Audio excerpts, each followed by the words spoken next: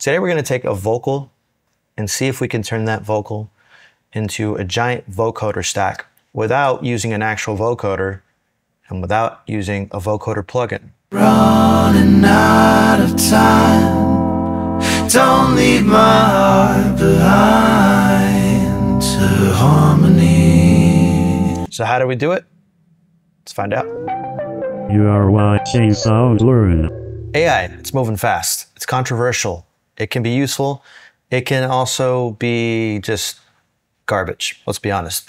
But I do genuinely believe that when it comes to music production, there are a lot of great tools and we're just learning how to use them. So this company called Audimee reached out and they wanted me to try out one of their new features, which is, for lack of a better term, a harmony generator. So what it is, is you feed it a vocal that you already have, just a lead vocal, and then it kind of does its AI magic and basically creates a harmony for you, which is cool. I could see the usefulness of that.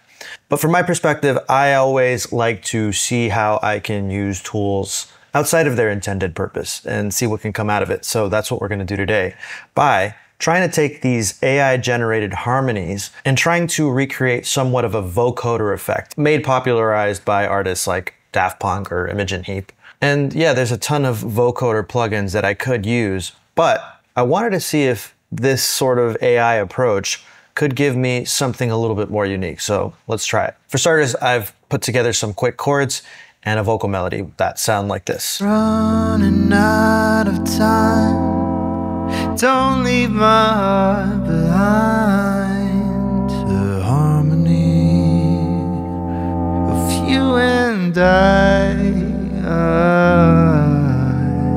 Pretty straightforward, but that is just me. There's no AI generation going on there. And so I'm just going to quickly export a wave file of just this vocal.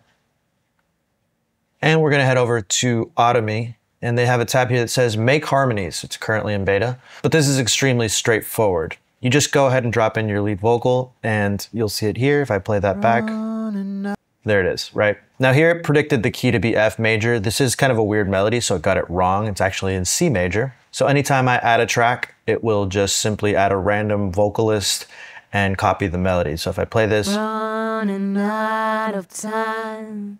this is cool if you wanted to do a big uh, vocal stack with different voices to make it sound a little bit more authentic. But in this case, I am more interested in trying to get it to sound as close to me as possible. And I'll explain why in a second. Before we do that, let's go ahead and just scroll through this so you can see. Um, there are a ton of voices here that you can pick from, and you can just click on any of these to preview what they sound like. And the cool thing about Audimee is that they are trained on voices and artists that have consented to be a part of this library. So there is something to be said about a company that's trying to do it right that aren't just taking from other already existing music without anyone's consent. So because of that, these are royalty free voices, meaning you can release a song with these voices without having any issues. So that's definitely a plus. In this case, I'm gonna go for male, indie. I'm gonna go with Dustin over here because when I hit play, out of time.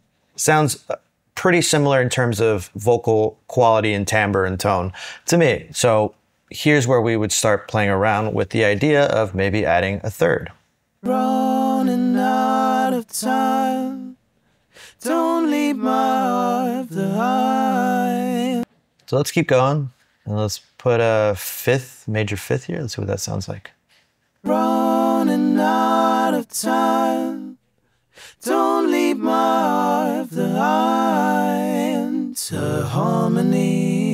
So already because we're using the same voice and the voice has a similar vocal timbre to mine, we're already starting to get that sort of like vocodery effect. And that's essentially what I'm looking for because nothing is stopping me from just using a plugin, but I wanted to see if there was a middle ground that we could reach between completely synthetic vocoder sound or a completely real harmony stack. Can we find a middle ground that sounds unique and interesting? And that's what we're trying to do. Let's go again here, put my boy Dustin. This one I want to put an octave down actually, see what that sounds like. Running out of time. Don't leave my heart behind to harmony. So I like the fifth drone more a little bit. Let's add one more here. Bring back Dustin. running out of time. Don't leave my heart behind to harmony. So for this last one, we're gonna put it onto root drone and we're gonna change the voice. And for this one, I'm gonna go pretty low. I come with real when I come. I like this one. And if I play this, I wanna put this two octaves down, see what that sounds like. Running out of time.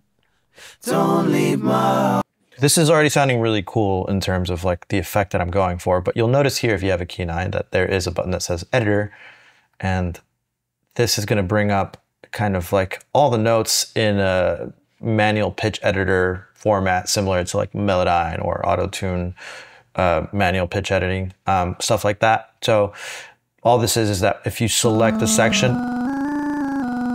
you can literally manually modify everything. So I'm gonna actually do that. Let's make this a little bigger so I can have more control here. Let's select all of this. And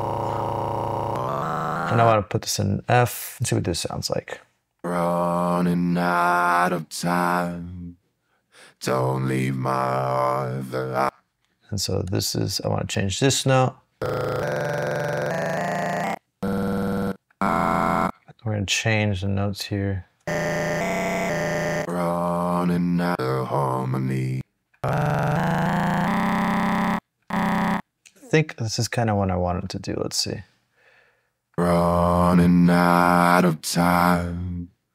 Don't leave my heart behind to harmony.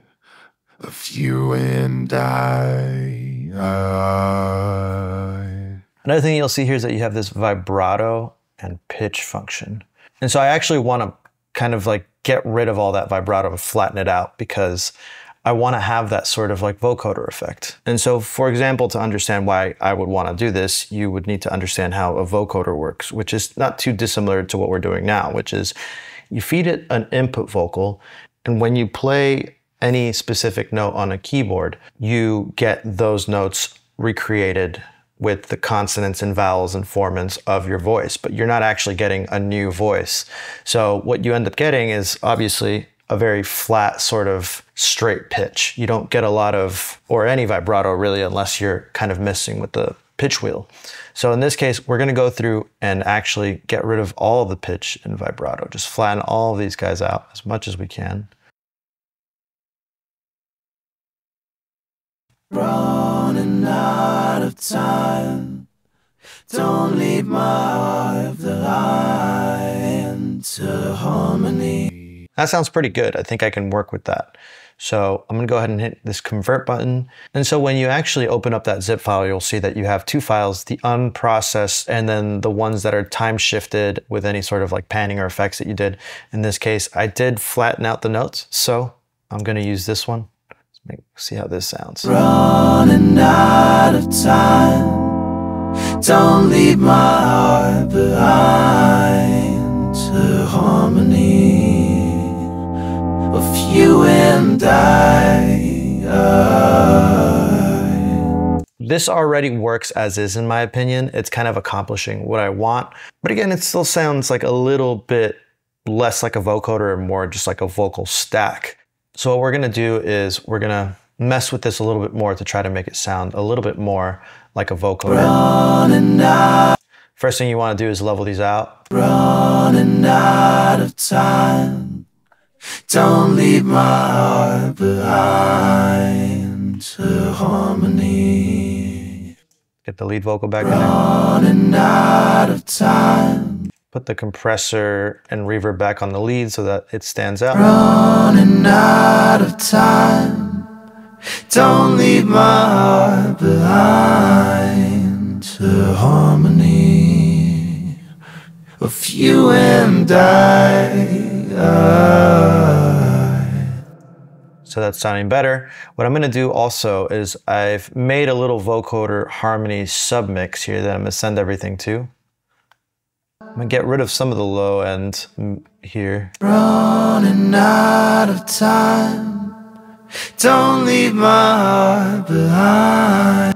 Let's go ahead and compress them a little bit more glued together. running out of time.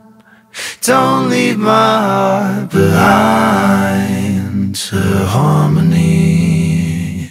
And so another thing I'll go ahead and add here is a little bit of modulation. Maybe we can put in bit of a chorus effect, maybe. Not too much. Running out of time. Don't leave my heart behind to harmony of you and I. Mm, let's see what else we can add. Maybe a little bit of a slap back. Running out of time. Don't leave my heart behind to harmony of you and I. Let's hear it with everything with the synth. Running out of time. Don't leave my heart behind to harmony of you and I. And then you know what? Actually, if we're gonna go the full kind of synthetic route, let's throw in some auto tune on each of these individual ones. We are in C major. Let's be pretty aggressive with the retune speed. No natural vibrato, no humanize. Now let's just copy this across the board. We're definitely gonna get a very aggressive effect. So let's see what it sounds like. Running out of time. Don't leave my heart behind to harmony you and I.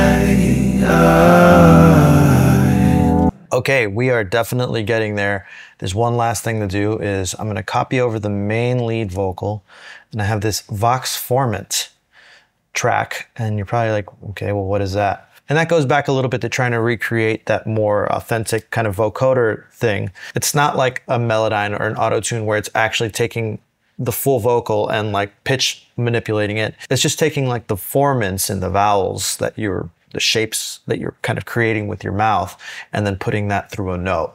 In this case, what we're gonna do is we're gonna put this into robot mode. We're just gonna take the formant all the way down to negative 12. You're gonna get this almost like very creepy sort of and by itself, it sounds wacky and ridiculous, but in the context of everything, it should give you a little bit of that texture that you get from a vocoder. Running out of time. Don't leave my heart behind to harmony of you and I.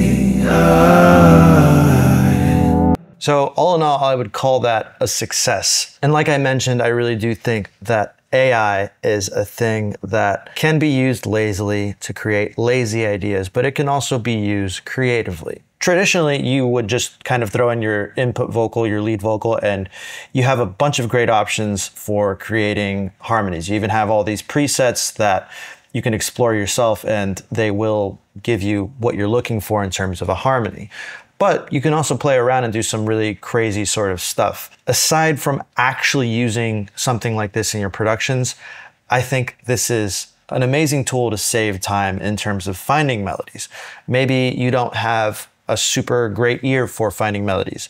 This is something that you can easily just throw a lead vocal into, find a bunch of really cool harmonies, tweak them until you like them, export them out, and now you have a great reference track that you can then record your own vocal to now having the notes be very clear and, and, and you know exactly what you're going to sing. And so if you want to try this for yourself, there is a free tier that you can just play around with. It gives you 15 minutes of conversion, which is honestly more than enough for a song, realistically. So if you do like that and want to try that out, there is a link in my description. It helps the channel out at no additional cost to you. So if you subscribe through my link, it helps me out. So I would really appreciate that if you are remotely interested in checking it out. Outside of that, I want to thank you for watching and I want to thank Audimee for sponsoring this video. And uh, that's it. If you like content like this, don't forget to comment and subscribe. That also helps out the channel. So that's it. Thanks for watching.